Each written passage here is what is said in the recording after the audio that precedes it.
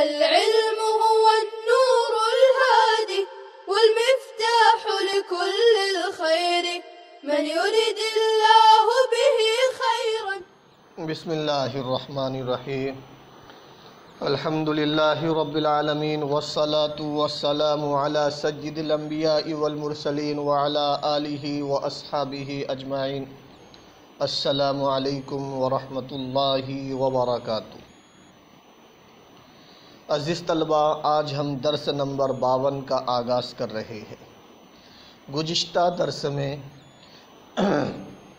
आप लोगों को बतलाया गया था कि इमाम अबू हनीफ़ा रहीमहुल्लाह के यहाँ उमूम मुश्तरक जायज़ नहीं है। यानी एक ही वक्त में एक ही लफ्ज़ से दो माना मुराद नहीं ले सकते, दो माना मुराद नहीं हो सकते। गुज्श्ता दरस में उसकी तायद में साहिब किताब ने कुरान करीम से एक मिसाल पेश की थी।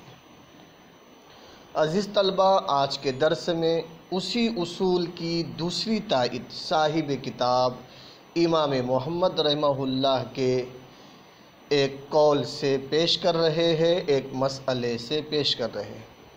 और तीसरी तायद साहिब किताब इमाम अबू हनीफ़ा रहमहुल्लाह के एक मसले से पेश करेंगे। अज़ीज़ तलबा, उमूम मुश्तरक जायज़ नहीं हैं। उसकी दूसरी तायद सुनने के लिए चलिए। देखिए मुसनफ़ रहमहुल्लाह की इबारत। स्क्रीन पर, वक़ाल मुहम्मद इदा अवसा लिमवाली बनी फ़ुलानी।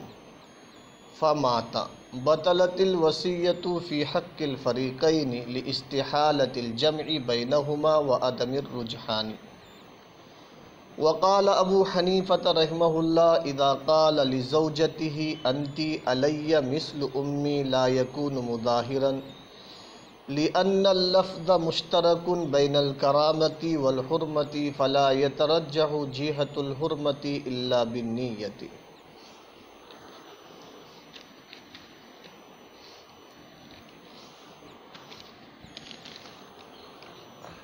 अज़ीज़ तलबा।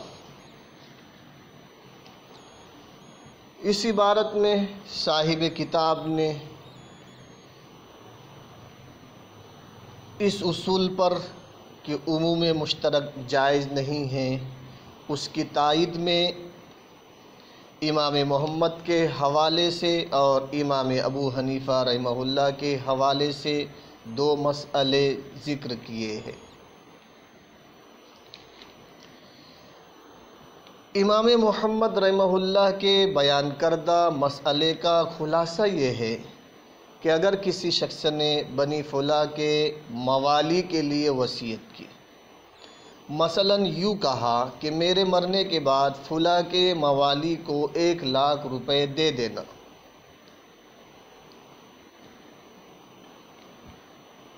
और ये कहकर ये शख्स मर गया। जबकि फूला के मौल आला और मौल असफल दोनों हैं, जबकि फूला के मवाली आला और मवाली असफल दोनों हैं। तो ये वसीयत दोनों फरीक़ों के हक़ में बातिल हो जाएगी। अज़ीज़ तलबा ये मिसाल समझने के लिए आपको सबसे पहले ये समझना पड़ेगा कि मवाली क्या है। मवाली जमा है मौला की और मौला दो माना में मुश्तरक है। यानी मौला के दो माना आते हैं। एक माना मोतिक आज़ाद करने वाला। इसी को मौला आला भी कहते हैं। और दूसरा माना मोतक आज़ाद किया हुआ। इसी को मौल असफल भी कहते हैं। अब सूरत मसला अज़ीज़ तलबा, इस मिसाल से समझिए। आसानी से आपके समझ में आ जाएगा।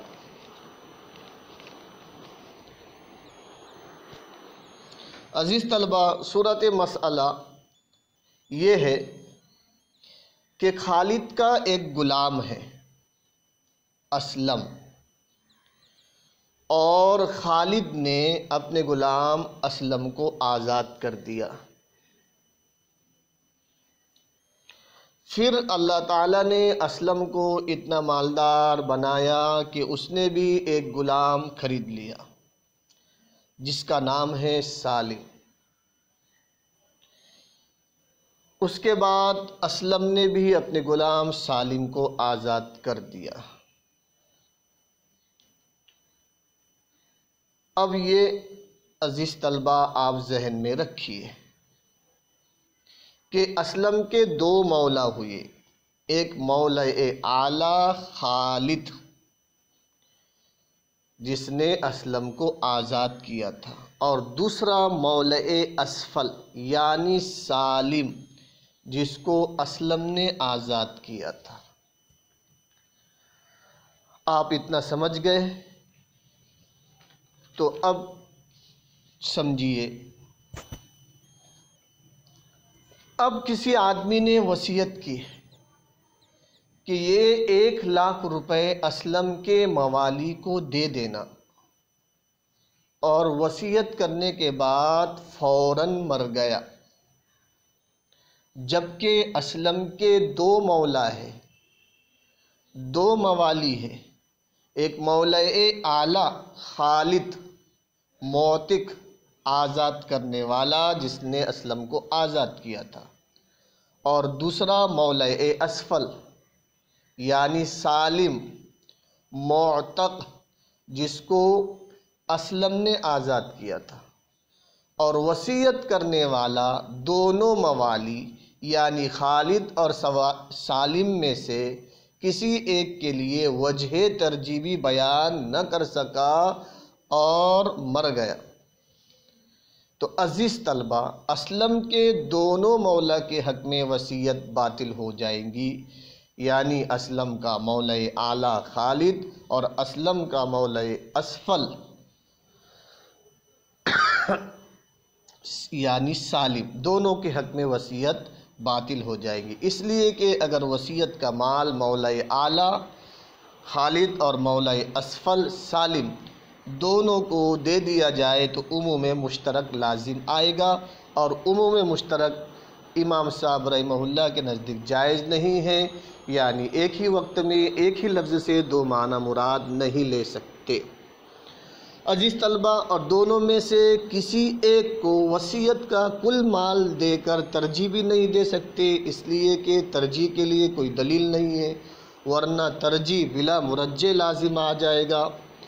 इसलिए मौल आला और मौल असफल दोनों के हक़ में वसीयत बातिल हो जाएगी। अज़ीज़ तलबा, आइए अब हम मुसनफ़ रहमल्ला की इबादत का तर्जमा करते हैं। वक़ाल महमद इमाम मोहम्मद रहमल्ला फरमाते हैं, इदा अवसा लिमवाली बनी फ़ुलानी।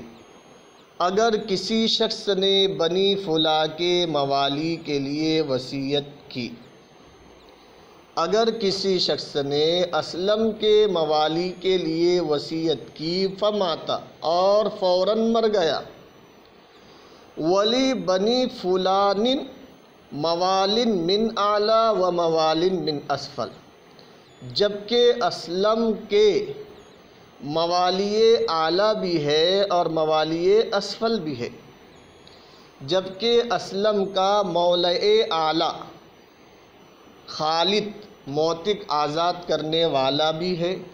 व मवालिन मिन असफला और असलम का मौल असफल यानी मोतक सालिम भी है। बतलतिल वसीयत फ़ी हक़िल फ़रीक़ैन तो वसीयत दोनों फ़रीक़ों के हक़ में बातिल हो जाएँगी। इमाम मोहम्मद रहमल्ला फरमाते हैं, इदा अवसा लिमवाली बनी फ़ुलानिन, अगर किसी शख्स ने असलम के मवाली के लिए वसीयत की, बनी फ़ुला के मवाली के लिए वसीयत की, फमाता और फ़ौर मर गया। वली बनी फ़ुलानिन, जबकि बनी फ़ुला के असलम के मवालिन मिन आला मवाली आला भी है, आज़ाद करने वाले भी है, यानी खालिद। व मवालिन मिन असफला, और आज़ाद शुदा भी है, आज़ाद किए हुए भी है, यानी सालिम।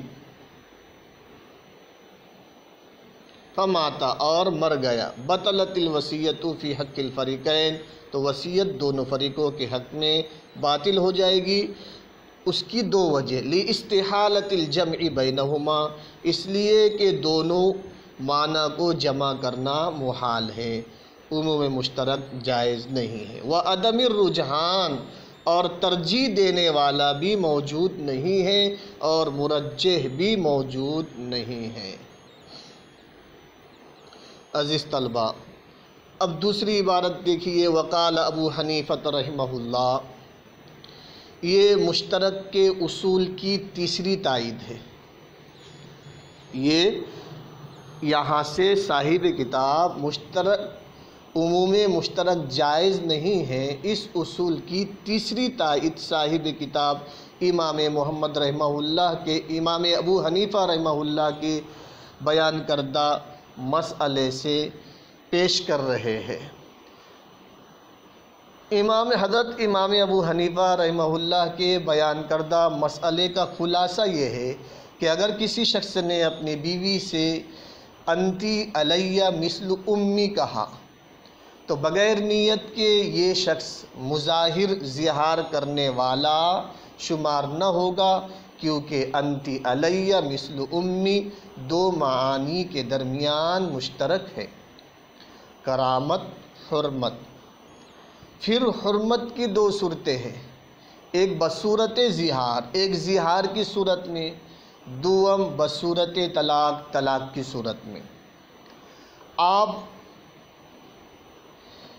इस तरह भी ताबीर कर सकते हैं कि ये लफ्ज़, यानी अंती अलैया मिसल उम्मी तीन मानी के दरमियान मुश्तरक है। करामत, ज़िहार, तलाक। यानी इस कलाम का एक मतलब तो ये है कि तू मेरे नज़दीक मेरी माँ की तरह मुकर्रम और मोहतरम है। और इस कलाम का ये भी मतलब हो सकता है कि तू मुझ पर मेरी माँ के मुशाबे है। और ये भी मतलब हो सकता है कि तू मुझ पर हराम है।